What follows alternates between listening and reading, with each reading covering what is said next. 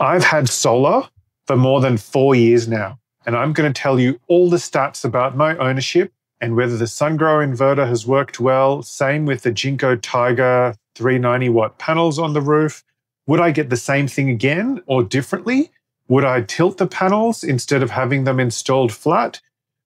Should they be facing north, south, east, west, or multiple directions? All the tips that will help you. I'm going to lay them out here one by one and also show you exactly my savings based on what it would have cost if I used the same amount of electricity from mains grid power instead of my solar for the last four and a bit years. That's 1,554 days so far of having solar. Let's go. Please contribute. It really helps my independent, honest journalism. What Solar Analytics is only good at is showing you long term savings. So, according to this, and I put in all my electricity tariffs and the changes over time since we first got solar a bit over four years ago, it saved us over $5,600 on an initial investment of $10,000. So it saved well over $1,000 a year. That's pretty good. And considering how long the warranty is on the inverter, 10 years, and the panels, like ages, I can't even remember. I think it's 20 or 30 years for different parts of the panel warranty. This solar system will save us way more than what we paid for it but also mean we get energy independence and no bill shock. That is awesome. Now I'll show you on screen a little bit of the installation process of our solar panels a bit over four years ago. We got a really reputable, high quality local solar installer called Paul from Brightside Electrical to install our inverter and do the wiring and install the panels. I'll show you on screen what panels we got at that time I chose Jinko and I'm really happy with those Jinko panels. I think that it's not worth paying extra money for super premium solar panels because you're just not going to get value for money ROI from them. It'll take a lot longer to get your money back. And the performance difference between budget quality solar panels like Jinko and super premium solar panels is very small. So you're spending that much more money for that much more performance. It just doesn't make sense. And do they work? Sure, they do work. They've worked well over four years without any problems whatsoever. So I can definitely say Jinko solar panels, big thumbs up. What about the SunGrow inverter? Again, it's a budget inverter. It doesn't have the reputation of a Fronius, for example, but it doesn't have a price of a Fronius either. It's worked again perfectly well. And it's provided us heaps of stats. There's no subscription fees. The app has worked well. It's not a fancy app, but it gives us heaps of statistics and any alerts for issues, such as when the Wi Fi has problems because our NBN is using old HFC Foxtel cable and sometimes drops out. So the inverter tells us that it's dropped connectivity. Um, yeah, pretty awesome. SunGrow inverters, Jinko panels are a great budget solution. You don't need to spend tons and tons more money on a fancy brand string inverter and fancy, really expensive solar panels. I'm perfectly happy with our choice, and I would buy a SunGrow inverter and Jinko solar panels again if I had the choice. And I was putting solar panels on my roof right now. Actually, mentioning Jinko solar panels, and yes, they have not paid me anything for this. I paid for my whole solar installation and the inverter myself.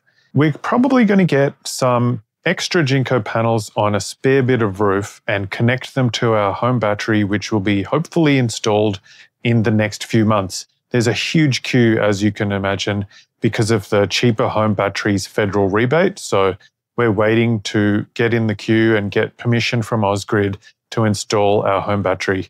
Then we'll have some even higher capacity Jinko solar panels on our roof, DC connected to the battery so it can have black start, blackout capability.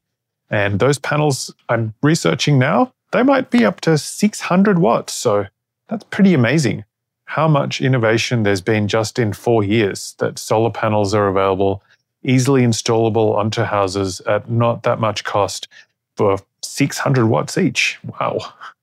That's the sun setting west over my shoulder.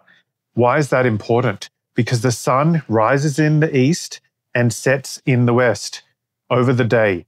A lot of panels ideally should be facing north, but you'll also get a huge amount of value, especially if you're on a time of use tariff or a demand tariff, if you have quite a decent number of panels facing west, because that's usually when most people are being forced onto time of use tariffs where they have peak periods of power pricing, like I do on the Ausgrid network from 3 p.m. to 9 p.m. So having panels facing west while the sun is setting means that the panels generate the optimum amount of electricity in the afternoons in summer and in winter. So that'll refill your battery or allow you to time your appliances like dryers and dishwashers, etc., to run while electricity is being generated to the maximum by your solar panels. Trees are really awesome. They generate oxygen and provide a home for birds and possums and all kinds of other creatures. We need trees, but solar panels do not like trees, especially in winter when the sun happens to be going behind the trees that means that a lot of solar energy is blocked from reaching your panels. Try and locate your panels on your roof in a place where they won't be blocked by tree shade for the majority of the year. Or, if possible, try and use optimizers. Talk with your solar panel installer and see if something like a Tigo optimizer might be a, a good choice. Otherwise, you have to figure out and know in advance, talk with your solar panel installer. If you know you're guaranteed to have some deep shade from trees during winter, then plan ahead and know that, for example, in June and July, you're going to have less solar generation into your house, inverter and battery, if you've got a battery. That's just how it is. You can't just get rid of the trees. We need the trees. Unfortunately, yeah, their shade will impact your solar generation. If you're completely surrounded by trees, it may be the case that it's not worth having solar panels at all. If your house is so deeply shaded that it hardly gets any sun on the roof at all, yeah, probably isn't worth getting solar. Might be worth getting a home battery instead. Have a look at some of my videos in the description. I've got some tips about choosing a home battery. And fill up the battery in off peak and then use it during peak instead. Some of you might be wondering why did I choose a small independent solar installer? Well, there's a good reason for that. I don't like recommending solar installers that use subcontractors because not all of them, but unfortunately, quite a few jobs done by solar system subcontractors are of mediocre quality, sometimes really bad quality if you're dealing with a solar installer who actually owns their own business and either does the install themselves or monitors the install and has staff, a small team that does the install themselves, you're almost always going to get a far better quality job. It's not going to be the most cheapest job, but you'll have fewer problems. So a lot of times I've found people who get solar systems by the cheapest possible solar company that uses the cheapest possible solar contractors, they get issues like a lot of broken roof tiles, roof leaks caused by areas not being sealed properly, shoddy electrical work. There's a lot of problems you can avoid by choosing a small independent solar installer company that's got a track record of knowing the houses in your area and how they're built and doing a quality job without rushing to leave instantly. They'll stick around like Paul did to connect my inverter to the internet. So I had the SunGrow iSolarCloud app and get it running and show me how it works. So you'll get a better quality of service by choosing an independent, smaller solar company, usually. Not always, but most of the time, you'll get much better quality than a subcontractor who doesn't care so much about the job because it's not their company name that's on the invoice. Now, I promised detailed stats, and this is where I'm going to show you. I'm going to scroll through last year and show you very quickly how much solar generation there was on different months of the year so you can get an idea of how much it changes. This is in Sydney, for example. You're going to get more solar generation in Queensland and less in Tasmania. That's just because of where you're located in the country and the angle of the sun.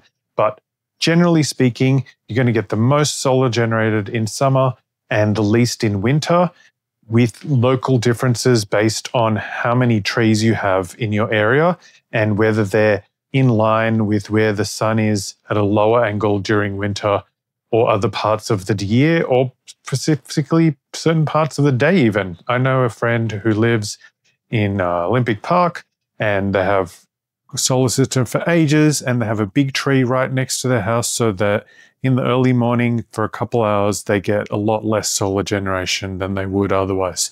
Anyway here are the stats. This is the homepage of my SunGrow iSolarCloud app. As you can see, it's late afternoon and solar panels are generating two and a half kilowatts of electricity. Half of that going to the house, or actually a third of it is going to the house, and two thirds is going to the grid. The yield today, because it's middle of July in winter, is only 15 kilowatt hours in total. Ignore the revenue. I don't enter the cost of electricity into my inverter. That's the dashboard. And what it shows is you can have a look at your stats over the, all the years of your ownership. SunGrow is really good that way. And they don't need make you pay any subscription fees or any other annoying things to get access to this. You can have a look at your daily stats, your weekly stats, monthly stats, yearly stats. You can get graphs, which are pretty good. And for all the stats, they'll break it down by color into PV, which is the solar generated, blue, grid energy purchased, blue feed in tariff, that's the negative direction for feed in tariff, and positive direction for purchased, and orange for load as well. As you can see, over the lifetime of this system, which is just over 1,554 days, it's generated 48.4 megawatt hours of electricity, so 48,400 over that time, kilowatt hours. The load has been a bit less than half of that. Ignore that again. I haven't entered the correct pricing into the. I've fed in a lot of electricity into the grid, but that's going to drop a lot very soon because I'm going to get a home battery. Watch out for that video coming up. So I'll be using a lot more of our own electricity generated from solar after the sun sets, thanks to the home battery. Because feed in tariff now is like five cents from our electricity provider. It's not really worth it anymore. And during the time we've had solar, we've purchased a bit over 8.9 megawatt hours of electricity, so 8,900 kilowatt hours. This is a good example of midsummer top production of the solar system. It's generated 58.6 kilowatt hours of electricity on 14th of December 2024. There was a load of 20.6 kilowatt hours. And we fed into the grid 41.5 kilowatt hours. Let's have a look. And we purchased three and a half kilowatt hours. As you can see in this good graph, it generated lots of electricity, peaking in the middle of the day at around 7.3 kilowatt hours generated at peak. And looking here, you can see that the electricity use was all underneath the orange curve. The orange curve is solar generation, and the tan color is the load. That's exactly what you want to see. Most of the load occurring during the solar generation time of day. That means instead of earning a paltry few cents for feeding electricity into the grid, you get to use it yourself and save 30, 40, 50, 60 cents per kilowatt hour, which you would have had to pay for grid electricity if you didn't have solar. That's the way to maximize solar savings. As much as possible, keep your load inside the solar generation curve during the middle of the day, mid morning, and afternoon. This is an app called Solar Analytics. What it does is give you lots of useful stats about your solar system. And also, most importantly, it analyzes your solar system compared to the data of other solar systems in your neighborhood to tell you is it performing as expected? So, this is really useful. Actually, a couple years ago, we had a roof issue and something was covering one of the panels. And Solar Analytics told me a couple days later and I got up there and I realized that a roof repairer had left part of a tarp covering one of the panels, which is obviously not a good idea. And so I got them to remove the tarp from that area and put it away. Without Solar Analytics telling me that, I would not have known. And it's not easy to see that part of the roof because it's tilted in a way that it's only accessible by a very tall ladder. Thanks for liking, subscribing, and sharing my videos. It really helps me make more videos like this for you. And have a look at the suggested videos up above. I'm pretty sure you'll like those as well. Thanks, and see you later.